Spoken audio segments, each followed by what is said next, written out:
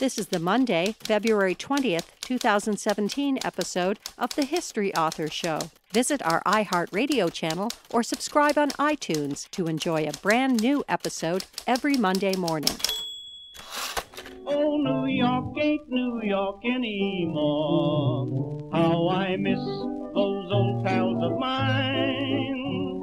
The sawdust is gone from the floor where we harmonize sweet Adeline on the east side, west side. Things ain't like before. There are tears in the eyes of the regular guys. Oh, New York ain't New York anymore.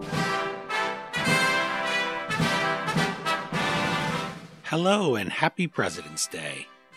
I'm your host, Dean Karayanis, and this is the History Author Show on iHeartRadio. This week, we're going to put some serious years and miles on the old DeLorean. Starting in the mid 1700s, Tidewater region of Virginia, and ending over 200 years later across the ocean in Hawaii. In between, we'll make a bunch of stops in Ohio and cast an eye towards President Donald Trump's birthplace in our greater New York City borough of Queens. Playing Doc Brown to my Marty McFly on this time travel adventure is Louis Picone, author of Where the Presidents Were Born The History and Preservation of the Presidential Birthplaces. From George Washington to Barack Obama, the book shares insights and history of the homes, highways, and hospitals of the first 43 men who've served as our commander in chief. And no, it's not 44. Don't forget the historical asymmetry of New Jersey's own Grover Cleveland. One man, two presidents. Since there's no escaping the circle of life, even if the Marine Band does play Hail to the Chief every time you walk in a room, Louis is also the author of The President is Dead The Extraordinary Stories of the Presidential Deaths, Final Days, Burials, and Beyond, which we'll be discussing in a future episode. If you love walking in the baby steps of our presidents, and who doesn't, you'll want to check Louis out at facebook.com slash presidential birthplaces. And check him out at louispicone.com, where Louis actively shares his enthusiasm for the men who've served in America's highest office. Louis Picone and I are both from the Garden State of New Jersey, just like Grover Cleveland. So we decided to meet up at one of the hidden presidential jewels of the Jersey Shore.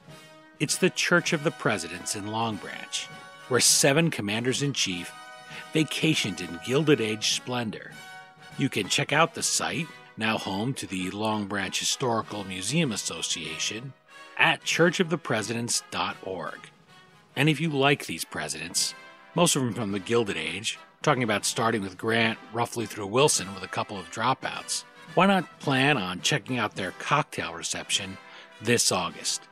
You can find information on that at churchofthepresidents.org, and I promise you it'll be an event unlike any other and just a great fundraiser for a really one of a kind historical site. Okay, now that we know a little bit about Louis Picone's passion and the place we'll be meeting up, let's catch Louis and visit where the presidents were born.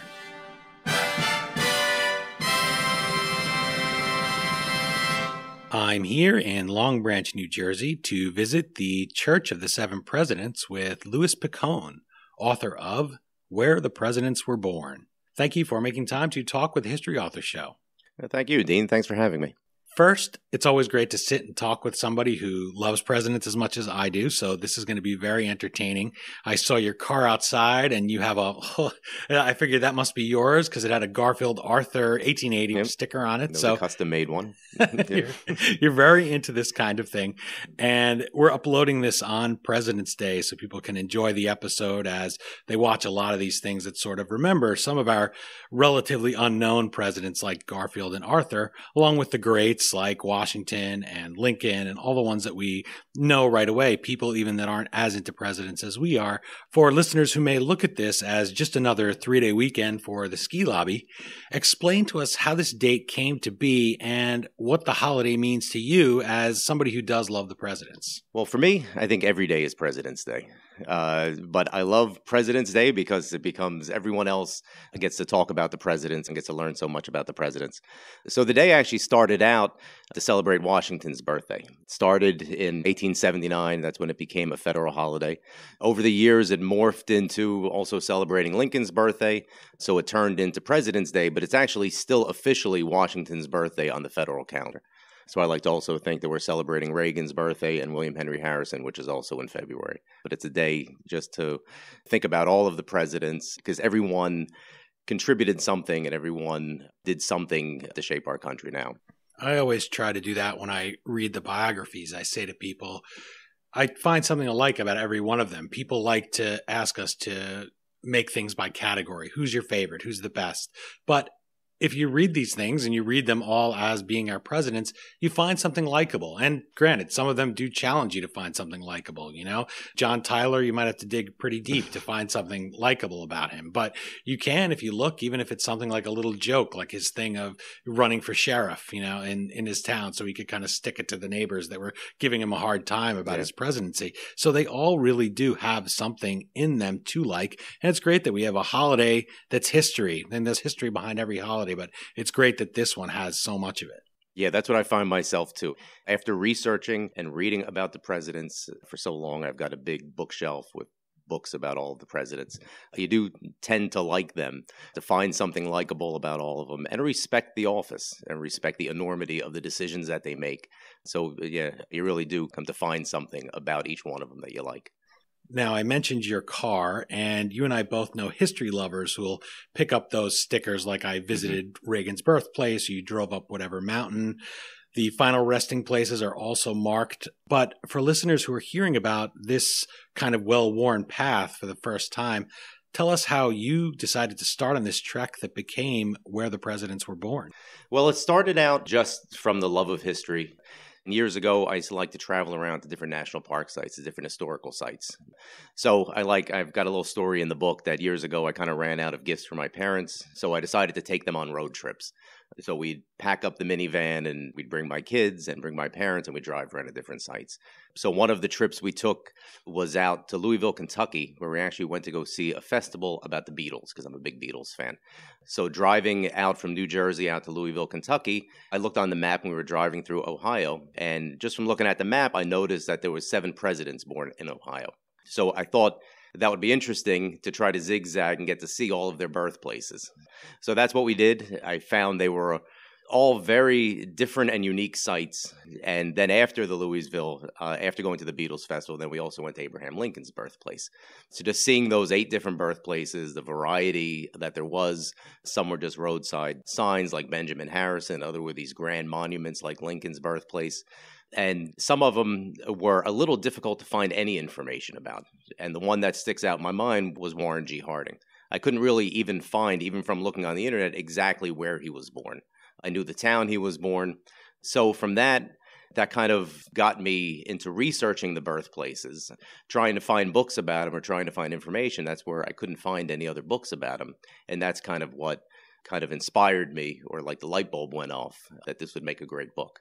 And it's not a thick book, not a textbook. It leans more towards the coffee table variety and also functional. So lots of vivid pictures, but also these tables with key facts, something you can put in the back of your car if you go on one of those road trips to Ohio. So when you wrote Where the Presidents Were Born, what was that reader you were picturing finding when they picked it up?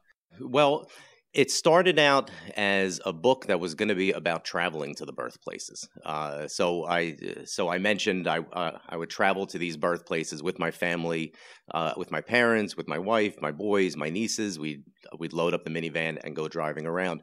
So it started out to be almost like a visitor's guide. Uh, so I've got the checklist in the back where people can check off the birthplaces they've been to. I've got directions in there. Uh, I've got uh, uh, information, so visitors information, other things that you might want to do while you're in the area. But as I I researched it, I found every birthplace has their own individual and unique and often quirky and funny history. Uh, so uh, I realized as I got into the writing, that's the book that really needed to be written, or that's the book that I wanted to write was the history of every birthplace. Uh, so I think that's where the format came from because I, I still wanted it to be that visitor's guide. Uh, so maybe if you're if you're traveling to Herbert Hoover's birthplace, you don't need to read the whole book. You can just read about Herbert Hoover, uh, and it'll give you great information on the history of the site. Uh, but also, there's rich history of the uh, of the birthplaces and the preservation efforts too, and that's where things sometimes really get interesting because uh, the thing about birthplaces that struck me as so interesting is that there's so many historical sites where uh, uh, something historical happened and people know right away that that site is historical, like uh, Gettysburg or or Independence Hall. But birthplaces, they're not considered historical until 50, 60 years later. Yeah, you say in the rearview mirror, that's when people know they're historic. Yeah. And speaking of visiting the birthplaces and us being here in New Jersey at a historic site, we only have a single presidential birthplace. That's the Grover Cleveland birthplace in Caldwell. The closest to us after that, I guess, is number 26, Theodore Roosevelt's in Manhattan. And now number 45, Donald J. Trump in Queens, which is still a functioning hospital. You do a trip to Ohio, as you said, you can rack up a lot of presidents there. You can rack up a lot if you go to Virginia. But I wonder how you did deal with some of those far flung, ill defined sites like number five, James Monroe, which is a Virginian but some of those you have to go really far. And you talked about taking your family there. So how did you go seek out those, especially when you might know there's not much there to see? Like for instance, one one of our modern presidents that's in a hospital. Jimmy Carter was the first president born in a hospital. So you have to haul your way down to Georgia and go to see a hospital, which is not a historic site, maybe not anybody there with any history. They might not even know the room. Maybe they do. You'll tell me. But so how do you get motivated to go to those places? And more importantly, for the purposes of where the presidents were born, how do you bring that to life for your readers?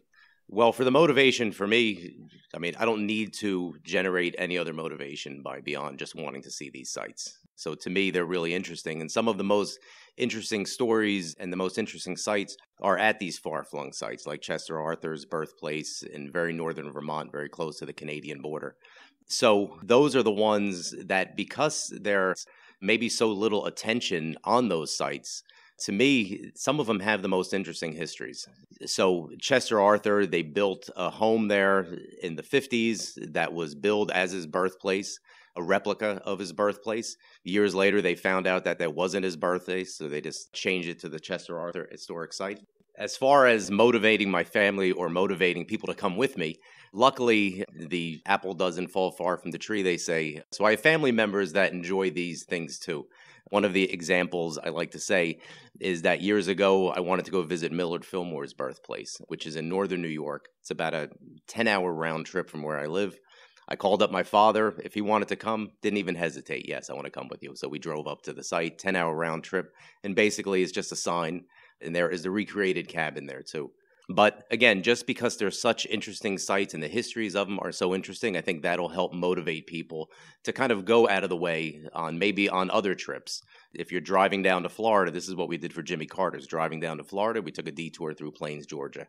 Well, and I wouldn't sell short your passion either, because for any writer, if you're writing things and you're writing them vividly and interesting, you'll be able to make people want to go.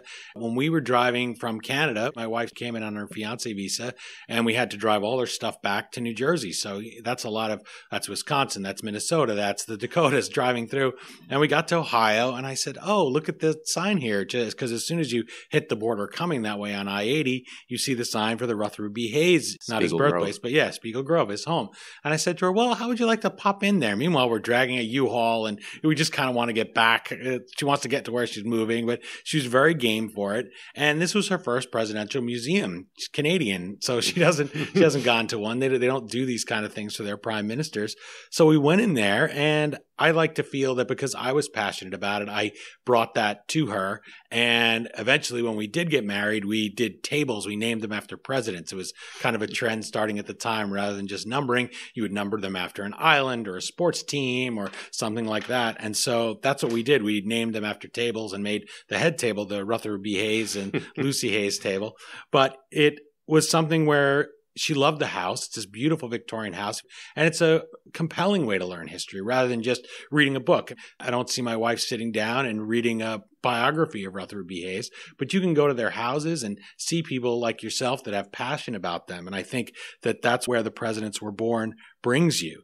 And speaking of Rutherford B. Hayes, his birthplace today is kind of a standalone site, not what you would expect. So tell people about it. Hayes was our 19th president. What will history spelunkers find when they visit there now?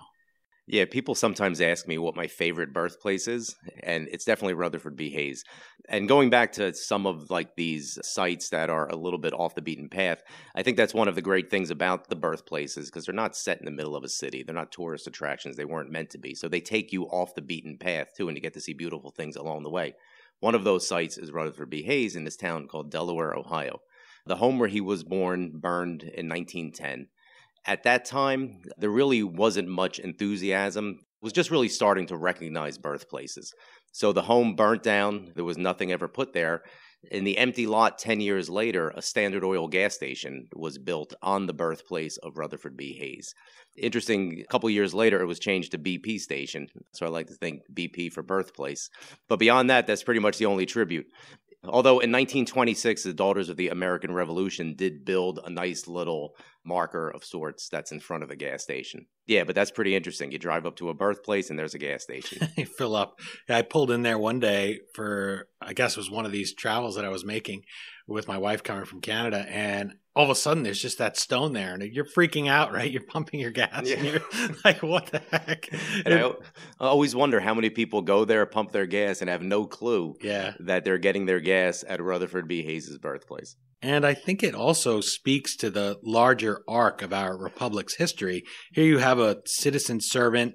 Here you have these men who, as Feather S. Foster said when we talked about her book, Mary Lincoln's Flannel Pajamas, she said, except for two of the first ladies, they really just married guys, as she put it. You know, I mean, if you married Ulysses S. Grant, you married Rutherford B. Hayes, you had no reason to think this guy had the stuff of being a president in him and you'd someday be living in the White House. They were just people that fell in love, got married, and this is where their lives took them.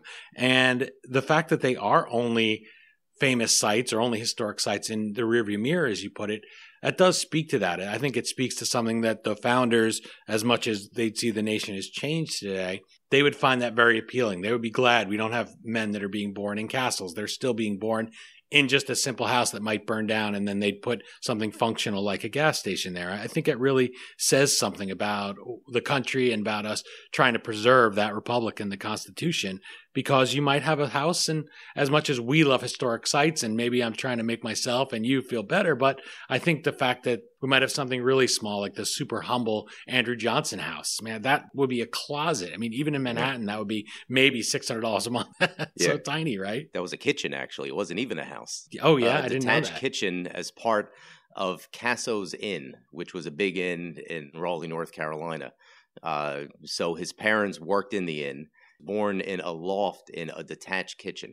Very small little structure. I've seen it. Yeah, I'm, I'm taller than the building. Yeah, pretty much. I mean, I'm six three, so it's a pretty small building. You can sit on the rock outside, and uh, how would you get in the doors? You'd have to turn sideways. Yeah. It just speaks to how humble the beginnings were of these men, and him humbler than any other. The guy is illiterate and, you know, continues to be. And so does Andrew Jackson. Andrew mm-hmm. Jackson will spell his name. People like to say, presidential historians like Louis Picone here, five different ways in the same letter, his own name. So, mm-hmm. you know, this was a very simple beginning. There was only one birthplace that you were not able to physically visit for where the presidents were born that of Franklin Pierce, our 14th president. So tell the listeners why it is off limits and what feelings did you have about not being able to actually walk on that ground? Yeah. So I told you about my first favorite birthplace. Franklin Pierce is probably my second favorite birthplace. It's in Hillsborough, New Hampshire. And he was born in a very small little log cabin, one of the log cabin presidents. But very shortly after he was born, his family moved into a much grander home also in Hillsborough, which is now known as the Hillsborough, or I'm sorry, uh, as the Franklin Pierce Homestead. Uh, so if you go to Hillsborough, you're going to probably visit the Franklin Pierce homestead to learn anything about Franklin Pierce. But he wasn't born in that home, even though some literature does say that was his birthplace, but that's incorrect. Uh, but the log cabin, as log cabins, uh, they're not really built to last. It it fell apart over the years. Uh, but in 1926, a nearby river was dammed, and a man-made lake was created uh, called Jackman Lake uh, and it submerged Franklin Pierce's birthplace. Uh, so now, in the middle of this man-made lake, is the actual birthplace of Franklin Pierce. Uh, so the people at the uh, at the uh, Pierce homestead would tell me that when the water is really low, you can see some of the foundation of the home. Wow. But I don't know if they were just uh, goofing with me or not because I haven't been able to find any pictures Yeah. of that. Maybe they hoped that they saw it. Yeah. So urban legend that you Yeah. can maybe see some of that. It's like the Pierce Nest monster. Yeah. Something some drunk fisherman out there. I swear I saw Yeah. it out there. Yeah. I considered how much Franklin Pierce drank, and I wanted to say that maybe it makes sense. He was underwater the whole, whole time, a little slosh there. yeah, he, maybe that's appropriate. he famously said after he left the presidency and really a broken man, it's a very sad story, went into the presidency broken, never mind leaving it, that he said there was nothing left to do but get drunk. So that was mm-hmm. his post presidential plan, and he executed it very well. That's what he did, yeah. But a very tragic story. Yeah, he really is. But fascinating too. And that's the thing I think you do learn when you go to the birthplaces. Sometimes even the absence of a birthplace like that. Did they change the name to Lake Franklin Pierce? Yeah, yeah. So years later, they did change the name to Lake Pierce. So yeah, so at least they gave him that recognition. But there's no sign there that says Franklin Pierce was born here, which is really it's very interesting and unique because the next president with a birthplace that is completely unacknowledged is actually George W. Bush, who was born in a hospital. It's a functional hospital. They have no interest in putting up any marker or anything. Every other president prior to George W. Bush has something at their birthplace the actual birthplace, a replica of the birthplace, a roadside marker, but at least there's something there. Yeah, I think with the hospitals, that's going to get progressively harder because hospitals don't always stay there for one thing, but also to, just to put a plaque, which they'll, they'll do eventually, I would assume. I mean, history, you know, it's not really history yet until 50 years later, as they say, and people begin to re-examine you and want to market. If it's a little house, I've been to his father's birthplace. Man, that's a nice house, and uh, there's something about it. But I think we maybe can't see it right now as modern people, but someday people will look at it and say, "Oh, this hospital. There was a hospital here. Now it's whatever it is, a spaceport, or who knows what it'll be in a hundred years." Right, looking back. Bill Clinton's hospital is a funeral home now. Oh wow. Uh, and he actually went to his uncle Buddy's funeral at his birthplace because the birthplace was torn down and then they built a funeral home on the site Oh wow. And that's after he was president. He's gone to the back Yep. to the site. Yeah. Wow. Yep. in Hope, Arkansas. My guest is Louis Picone, and we're joining you from the Church of the Presidents in Long Branch, New Jersey, a chapel where more presidents worship than any outside the nation's capital. That's seven presidents, and you can learn their story of vacationing and worshiping here at churchofthepresidents.org. And while you're online, check out our guest, Louis Picone, at facebook.com slash presidential birthplaces. You can also visit him at louispicone.com. This week, our topic is Louis's book, Where the Presidents Were Born The History and Preservation of the Presidential Birthplaces. The New York Daily News writes of it, quote, Louis Picone spent the last seven years visiting the birthplaces of every U.S. president. Now he has written a book about his passion. And Louis, they say you describe in extensive detail everything anyone might want to know about the presidential birthplaces. Let's dwell on those small details for a moment because I find sometimes those small things are the ones that tell the big story. For instance, when I visited Theodore Roosevelt's home, Sagamore Hill, not his birthplace, but the house he lived in and died in, I noted that he had a cemetery for the family pets. These were dogs and cats. There are horses buried places like at the Hayes home, but this was just for family pets, the dogs and cats. And I thought the only other historical home I've been to is not a presidential home, but is Chartwell, Winston Churchill's home in Kent, the United Kingdom. He happens to also have a small pet cemetery there for the cats and dogs that he loved so much and his family loved. Small details like that leap out at you at some of those birthplaces. So I wonder if you would share some of those with us. Yeah, when you actually visit the birthplaces, it's one thing researching the birthplaces, and I've done a lot of research and I've tracked the buildings and tracked the land back and the building of the structures and how they were modified over the years and who else lived in the structures. Like, for instance, I found that at Harry Truman's birthplace, when he became president, the gentleman that owned the home at the time was Wyatt Earp's cousin. So people were coming to visit Truman's birthplace. He also wanted to showcase his famous cousin. So he set up a museum to Truman. People can come in, see the birthplace of Truman, but also buy some postcards, learn uh, about Wyatt Earp. So, yeah, there's a lot of detail that I have about these individual structures and then the preservation afterwards. But definitely, just by visiting them, you can learn so much that you can't learn from a book like Herbert Hoover, after his presidency, he lived in the Waldorf Astoria, extremely rich person, but he was from these very humble roots in West Branch, Iowa. And when he died, he wanted to be buried in West Branch, Iowa. So when you go there and you stand at the birthplace, there's this clearing in the trees that goes all the way up to his grave. So you can see that direct line of his grave up on a hill looking down upon his humble little birthplace. Another little detail is just seeing the environments that these presidents were born in, like Calvin Coolidge, a remote little village, Plymouth Notch in Vermont. is just this gorgeous area. It's one of the most beautiful birthplaces. But you see this little town, there's only just a handful of buildings there. So you see this small little town where Coolidge was born. He was born in the back of a store. So that's fascinating. Also, I mean, little town births. Jimmy Carter was born in this small little town, Plains, Georgia. And then Ronald Reagan, born on Main Street. Uh, over a store. Yeah, over a store. It's interesting because he lionized Coolidge. He loved Coolidge. Yeah, They're both store-born babies. yeah, yeah, that's true. Then it turned into a bank that he was born in, or uh, above the bank. But it's just so interesting and reading about these small towns after they became president, where they were preparing for the onslaught of tourists. In Plains, Georgia, they got it, but for some reason, Reagan's birthplace never got those tourists. Also, for Lyndon Johnson's birthplace, too. Again, it's an eye shot of the cemetery that he would later be buried in.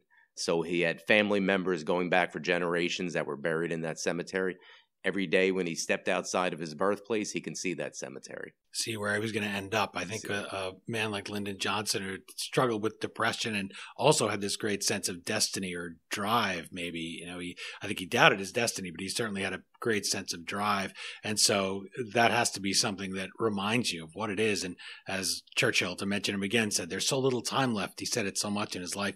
Meanwhile, he lived to be 90. But I was talking about the Elberon train station that's here near the church of the Presidents, where you can get off and come here.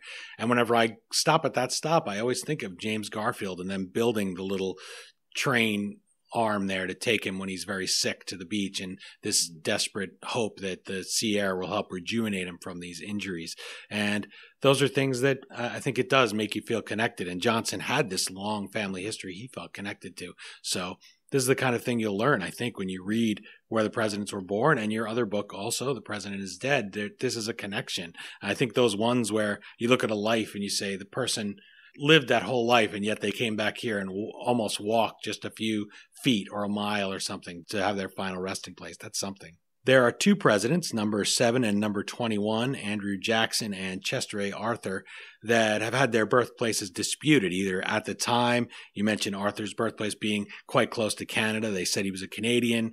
Jackson, not only did they argue over him in, across the Carolinas, north and south, but there was a claim, I believe, at one point with him that he'd been born at sea on his way from Ireland, his parents on his way from Ireland. So I wondered, how did you handle that sort of gray area in where the presidents were born?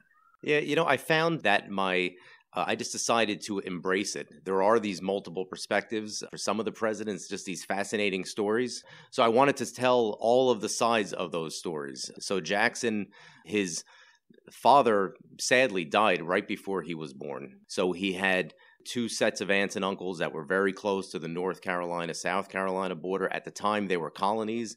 The border wasn't really very definitely defined. So one of the cabin was in North Carolina, another one was in South Carolina, or what would become North and South Carolina states. So nobody's quite sure which one he was born in, which cabin he was born in, if it was in North Carolina or South Carolina.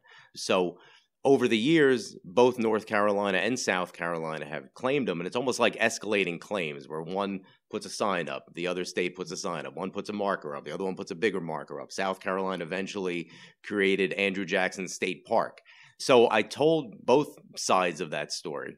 And then at some point, a map was found, an older map that had Jackson's birthplace in South Carolina. So they pretty much, at this point, they have the mantle of the birthplace, but North Carolina doesn't give up. But yeah, but just telling that whole story, they're following the evidence uh, and where the evidence took me to tell those stories. And I mean, those are the most fascinating places to me. And I mentioned Ohio and Virginia being places where there's so many presidents from, the mother of presidents. Now, I'll put you on the spot as a presidential historian and start a little fight with people between Ohio and Virginia with you. But which one lays claim to more presidents, and what's Well, the source of their fight? Uh, Virginia lays claims to more presidents. There's eight presidents born in Virginia. And in Ohio, there's seven presidents born there. They also like to claim William Henry Harrison as one of their own because he lived there later on in life. But he was born in Virginia. But I like to tell people if you're interested in the presidential birthplaces, go to Virginia, go to Ohio, and you'll have over one third of the presidential birthplaces just in those two states alone. And you can catch James Buchanan on the way, just swing through there. And, Exactly. Go through Pennsylvania. yeah. But in Virginia, you've got Washington, Madison, Jefferson. I like to joke around that in Ohio, you've got more of like the JV team out there, where Rutherford B. Hayes, Benjamin Harrison, Warren G. Harding, some of the lesser known presidents. Louis has listened to this show before, so he knew not to put McKinley on that list. This interview would end Yes. very, very acrimoniously. But uh, no, it's funny. Speaking of McKinley, I was at the McKinley Grand Hotel in Canton, Ohio, which is across the street from where he lived with his wife. Actually, his wife's home. That's now the National First Ladies Museum. And I opened the menu in the room for some room service, and they had written in there that Ohio was was home to the most presidents, and in the margin, some previous guest had written "except for Virginia!" exclamation point. and I thought, what a great thing that some history lover is there to just deface the menu Yeah. because they feel that the history is inaccurate. And that that's the person that I was thinking of there when I asked about it. So. Yeah, like Adam said, facts are stubborn things. It's no surprise that I'm big on preserving historic structures like the Church of the Presidents here in Long Branch. Once a site is gone, it's gone forever. Even reconstructions like number 25, William McKinley's birthplace in Niles, Ohio, which is falling into disrepair now, or his successor, number 26, Theodore Roosevelt's brownstone, the one that you can visit, and I go past it many times in Manhattan, is a recreation. You know, it's it's not the original. It does have much of the original furniture. It is a very nice building because I believe it was built in the 30s, rebuilt, reconstructed in the 30s or so. So it's a nice building, but it's not the same. It's not the original. And if you love the actual historical facts, that sometimes bugs you a little. So I wanted you to make your pitch, having visited these places, to listeners that maybe don't feel the places matter that much. Maybe they are real far on the side of the gas station. They want the gas station there. They're not just making their piece of it, as we just talked about for Rutherford B. Hayes. But why do these places matter? Yeah, for Teddy Roosevelt's birthplace, that was actually rebuilt in the 20s, which is a fascinating story because Roosevelt died in 1919. And for years, in the last couple decades of his life, there was efforts to preserve the site. After he was president, there was efforts to preserve the site, but the area had changed, and for a time, it was used as business property. They even asked Roosevelt if he was interested in purchasing the property, but he wasn't. So there was all these efforts to preserve the site. Eventually, the building was torn down so they can build a business there. But what's fascinating, and I think it was torn down maybe 1916, pretty close to when he died. But what's fascinating, almost immediately after Roosevelt died, efforts were made to now to preserve it. Just the fact that he died prompted those preservations efforts. So they rebuilt it in the 20s, almost immediately after he died. But uh, I definitely feel uh, that we need to preserve these historic sites because there's such a sense of place when you're there.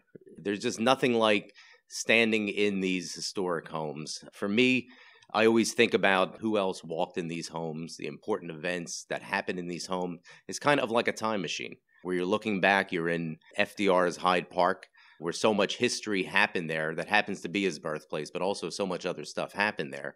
Uh, he met Churchill there. So you think about all of the different history that happened in that home. That feeling can't be replicated from standing at a roadside marker. So I'm definitely a big proponent of saving these sites. And even the replicas. The replicas, I mean, they do a lot to recreate that experience, but also the replicas themselves kind of take on a life of their own. I mean, I'm interested in the history of the home that you're actually standing in. So I think you just, yeah, you just can't get that when the home is torn down. But one of the things that I found that was so interesting about birthplaces is that, again, because history is being recreated so many years later, it's now 60 years later, 50, 60 years later before anyone takes interest in it. So much has happened during that period. Homes had been torn down, a lot of homes burnt down, a lot of homes were remodeled, homes were moved, they were relocated from their original foundations, and other people lived in the home. So even right now in John Tyler's home, a family lives in that home. So I always think about people showing up on their doorstep wanting to come visit the birthplace of John Tyler and they're like, "We're uh, in my pajamas. I'm trying to watch TV here." Yeah. Uh, so it's just so fascinating. So maybe especially for birthplaces, those replicas really take on so much more importance. And then again, just the story of these replicas kind of takes on a life of their own. That makes me think of Martin Van Buren's birthplace, which he was born over a pub. Very early republic, very ideal of a democratic republic where we vote for our own leaders it's just a kind of a 60s split level there now. And so and he's also born right across, or buried rather, right across the street, very close, I believe. So, yeah, pretty close. Yeah. So people will go knock on the door and say, "Can is can we see his birthplace?" And you say, "Now, Martin Van Buren, you know, the first president born as an American citizen. So after the revolution, does this look like a house that was uh, built in, you know, the 1770s? Like it doesn't look like it was ever a bar, you know, a yeah. pub where people lived and came and passing through. So yeah, that was vinyl siding on it. Yeah, yeah. It's just yeah. that uh, it just doesn't compute, but it does have a plaque. So sometimes people may just stop and decide to knock on the door and ask to see Van Buren's room. It would be kind of funny if they set it up and said, "Oh, this TV, this is his flat screen." to see how far people would need to yeah. be pushed to realize it's not actually his place. So that's kind of cool. So one thing fascinating about the Van Buren birthplace is years ago there is a lake area in New Jersey called Lake Mohawk, which was a man-made lake and the builder had a flair for the historic and he decided to build some of his homes based off of historic homes.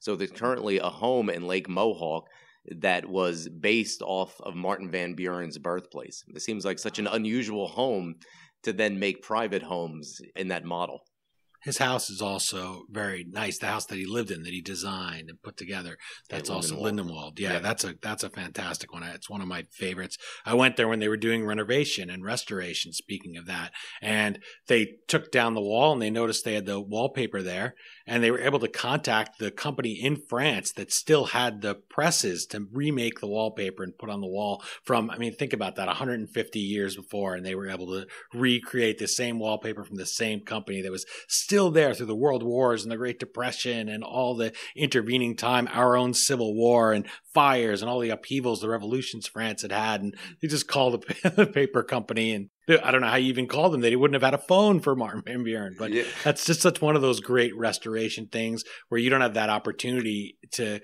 go and stand there and look at the paper and say, all right, this was Martin Van Buren's taste, or, you know, something like the Eisenhower birthplace or his home that you can go to.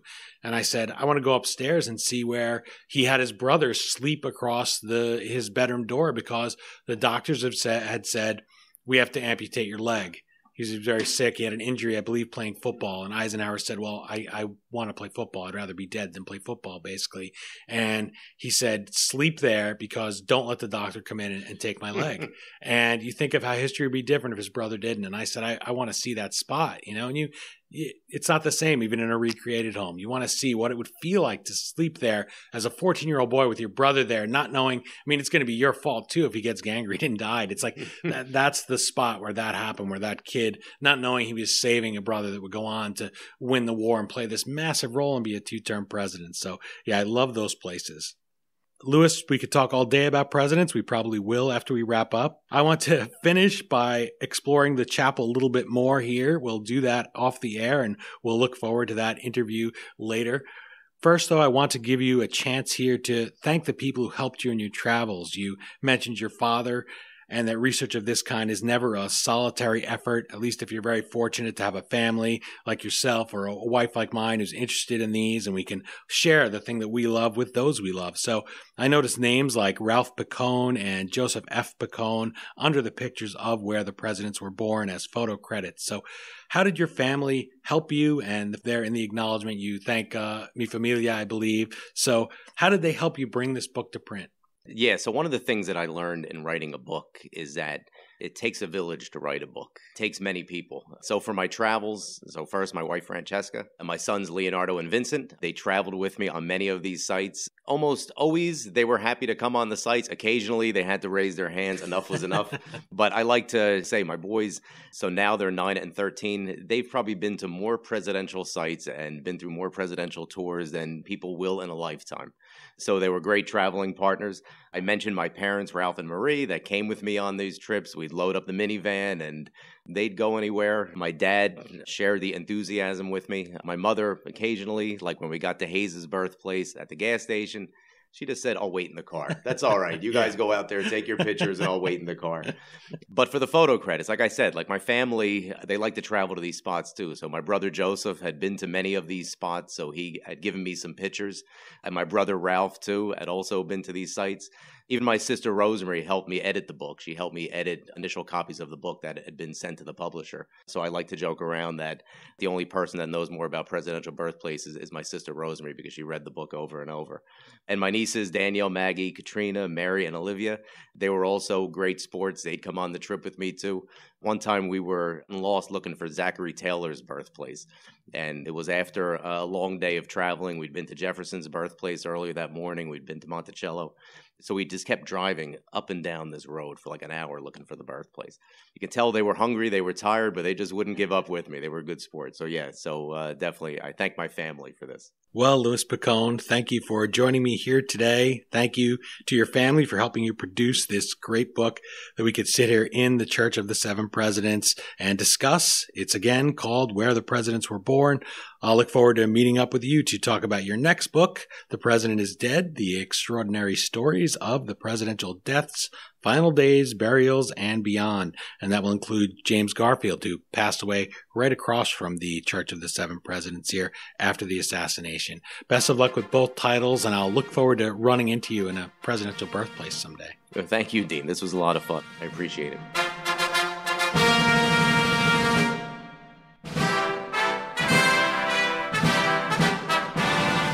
Again, the book is Where the Presidents Were Born the history and preservation of the presidential birthplaces. As always, you can find the Amazon link to purchase your copy at historyauthor.com. And we hope you will click through there, or even bookmark the URL off our homepage for all your online purchases. You go to historyauthor.com, we take you to Amazon, and Amazon.com gives us a small percentage of every purchase you make and it doesn't show up in your shopping cart, so it doesn't cost you anything extra. Once again, my sincere thanks to fellow presidential history nerd Louis Picone, not just for his time, but for agreeing to come meet me at the Church of the Presidents. Thanks to them for hosting us, and please visit their site, home of the Long Branch Historical Museum Association. It's churchofthepresidents.org and while you're there, you can check out that cocktail reception that they're going to have in August. And you can follow Louis Picone at facebook.com slash presidential birthplaces. And remember to look out for our follow up interview on Louis's second book. It's called The President is Dead The Extraordinary Stories of the Presidential Deaths, Final Days, Burials, and Beyond. I see a lot of history accounts on social media, as you can imagine and posts by Louis always draw my interest beyond the common cereal box trivia. He really digs deep and puts up some great pictures and stories. Plus, he's out there, standing in front of the birthplaces. He really walks the walk. This is not a book that he researched out on Wikipedia or just Googling around. It's really great to see his passion. And that's coming from somebody who's done a lot of presidential tourism myself. And while you're online, Remember to let us know what you think of the book and the interview on Twitter at HistoryDean or Facebook.com slash HistoryAuthor. Well, that's it for this presidential installment of the History Author Show. I hope you'll join us for next Monday's all new interview right here on iHeartRadio.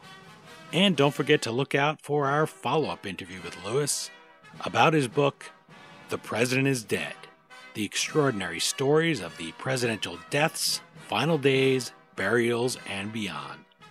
Well, until our next trip into the past together, thanks so much for time traveling with us today, and have a great week. We still call it Broadway, but what's in a name? Take it from Georgie, it isn't the same. On the east side, west side, things ain't like before. There are tears in the eyes of the regular guys. Oh, New York ain't New York anymore.